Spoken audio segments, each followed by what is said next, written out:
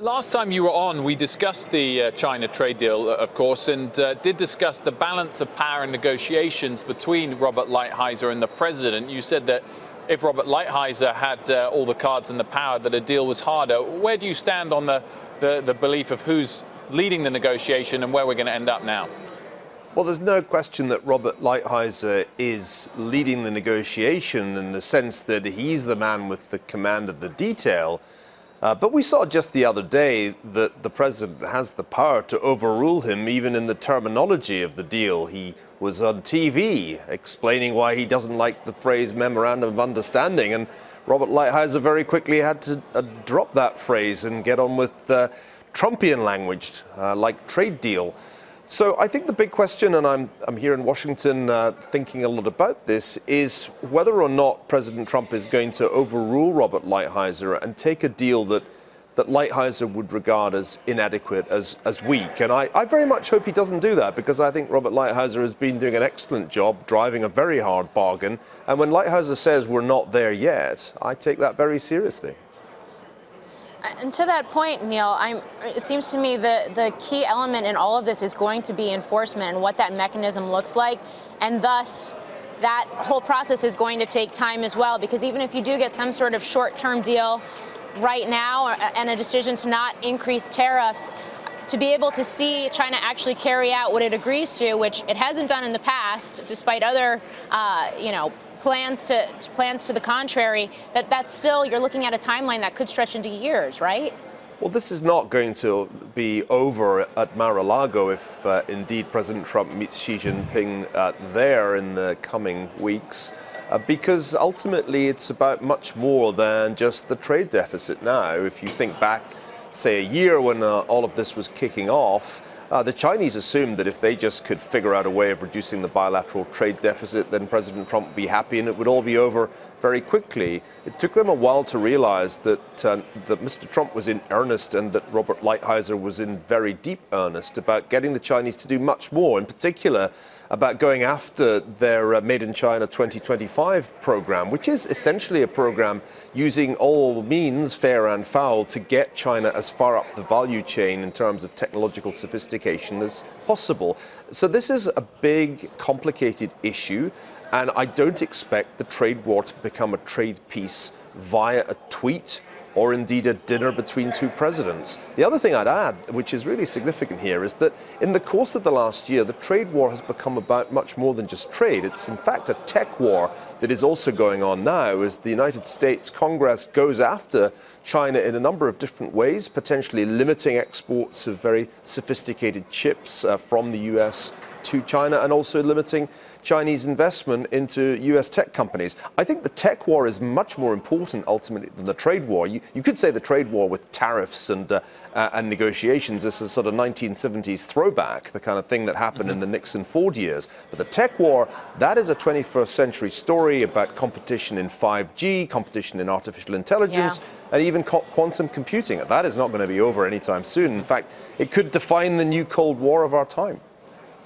Uh, Niall, uh, is the North Korea issue linked to the China trade? I mean, we're sort of reporting them as separate stories today, but uh, is any progress with North Korea possible without a China trade deal? And if so, which should the president really be focusing his efforts on more? Which matters more to the US?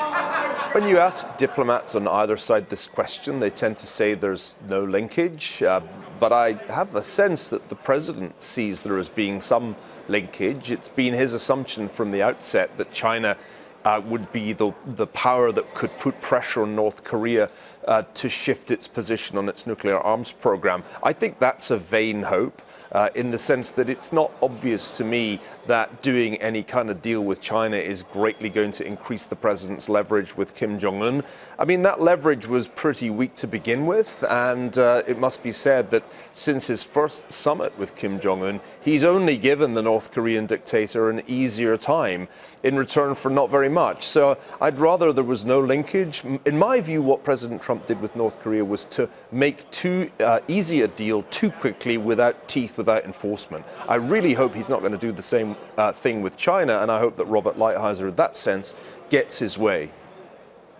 Niall, uh, all eyes are on Vietnam right now with this summit and, and these, you know, denuclearization talks and what that definition could look like. But meantime, you've seen this really fast and, and quite frankly alarming uh, ratcheting up of tensions between two other nuclear countries in the last couple of days as well, uh, India and Pakistan. Should investors be watching that more closely? And is this something that could actually really truly spill over into a full-fledged conflict?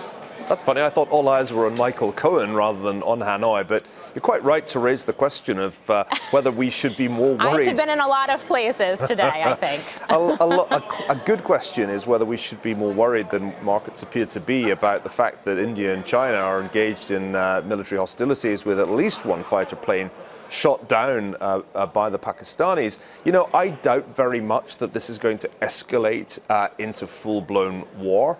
Of course, if it did, that would be extremely alarming since these are nuclear powers.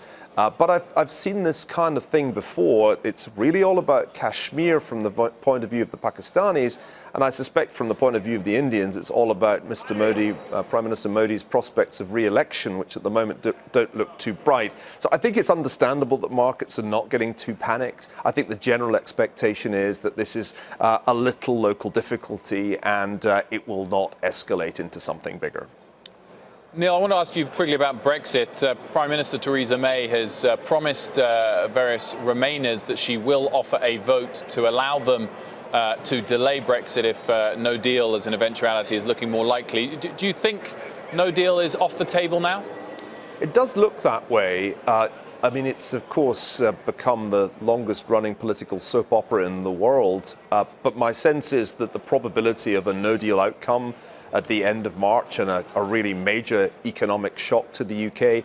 That probability is, is down in the, in the single digits now. Uh, and the most likely outcome, I think, is that uh, she's going to have one more attempt with her withdrawal agreement, and I suspect will fail. And one reason she'll fail is precisely that the no deal danger has been reduced, and, and that just reduces the incentive to vote for her withdrawal agreement. My fear is that what we're going to end up with is a postponement, an extension, some further uh, months are going to pass. But at the end of it all, Britain's going to be in the same situation with deep divisions on both parties about what exactly Brexit means. So unfortunately, I can hear the distant sound of a can being kicked down the road. Kind of familiar in European politics, isn't it?